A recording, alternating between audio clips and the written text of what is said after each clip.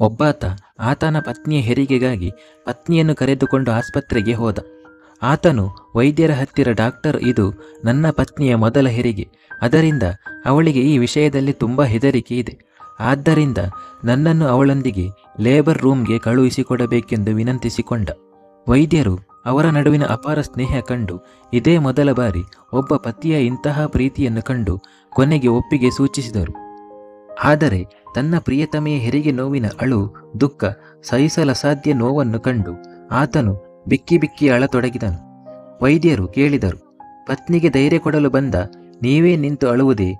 ಆತನು ಸೌಮ್ಯವಾಗಿ ಹೇಳಿದ, ನನಗೆ ಇದಕ್ಕಿಂತಲೂ ಗಟ್ಟಿಯಾಗಿ ಅಳಬೇಕು ಕಾರಣ ನನ್ನ ತಾಯಿ ಇದೇ ನೋವಿನಲ್ಲಿ ಅಥವಾ ಇದಕ್ಕಿಂತಲೂ ಹೆಚ್ಚು ನೋವಿನಲ್ಲಿ ಅಲ್ಲವ ನನಗೆ ಜನ್ಮ ನೀಡಿದ್ದು. ಆದರೂ ನನ್ನ ತಾಯಿಯನ್ನು ನಾನು ವೃದ್ಧಸದನಕ್ಕೆ ತಳ್ಳಿ ಬಿಟ್ಟಿರುವೆ ನನಗೆ ನನ್ನ ತಾಯಿಯನ್ನು ತಿರುಗಿ ಕರೆದು ತರಬೇಕು. ನನ್ನ ಈ ಮಗುವನ್ನು ಕೈಚಾಚಿ ಸ್ವೀಕರಿಸಲು ಅತ್ಯಂತ ಯೋಗ್ಯರು ನನ್ನ ತಾಯಿಯಾಗಿದ್ದಾಳೆ ಹೊರತು ಇನ್ನಾರೂ ಅಲ್ಲ. ಗೆಳೆಯರೇ, ಅದೇ ನೋಡಿ ಎಲ್ಲವೂ ಸ್ವಂತ ಎಂದು ಮನಸ್ಸಿನಾಳದಿಂದ ಕಾಣಲು ಸಾಧ್ಯವಾದರೆ ನಮ್ಮ ಸ್ನೇಹ, ಗುಣ, ಒಳ್ಳೆಯತನ ಯಾವತ್ತೂ ನಮ್ಮ ಕೈಯಿಂದ ತಪ್ಪಿ ಹೋಗಲ್ಲ. ಹೆತ್ತು ಹೊತ್ತು ಸಾಕಿದ ತಾಯಿಗೆ ಸಮಾನ ಇನ್ಯಾರೂ ಇಲ್ಲ.